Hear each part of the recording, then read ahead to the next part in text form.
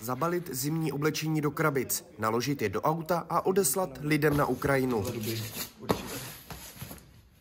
To je jedním z úkolů Davida Konečného, člena organizace Brno pro Ukrajinu, která vznikla v den, kdy Rusko zahájilo invazi na tuto sousední zemi. Jsme jedna organizace, která eh, nehledě na to, kdo v ní zrovna je, tak eh, dělá to, co dělá a ráda by to dělala i do budoucna. Na Mezinárodní den dobrovolníků tak organizace spojila síly s dobrovolnickým centrem Muni pomáhá a humanitární organizací Cesta naděje života. Společně uspořádali materiální sbírku Mikuláš pro Ukrajinu.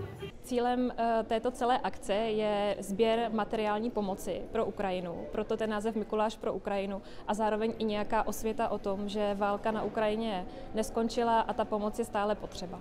Dobrovolnické centrum Masarykovy univerzity pomáhá od samého začátku konfliktu. Když začala válka na Ukrajině, tak jsme organizovali jednu materiální sbírku eh, na rektorátě Masarykovy univerzity a také v kampusu a od té doby se té pomoci věnujeme tak dlouhodobě. Brňané pomáhají válkou zasaženým Ukrajincům i mimo jednorázové akce, jako je tato.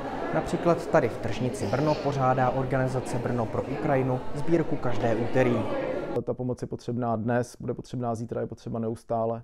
Do sbírek pravidelně přispívá i Pavel Janků. U nás od malička v podstatě e, bylo téma vlastně invaze v 68.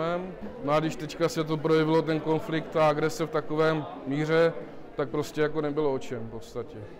Cílem akce Mikuláš pro Ukrajinu nebyla jenom materiální sbírka, ale i přednášky dobrovolníků, možnost zapojit se do pletení maskovacích sítí nebo program pro děti. Pro Muni TV Daniel Komenda a Nikola Barboříková.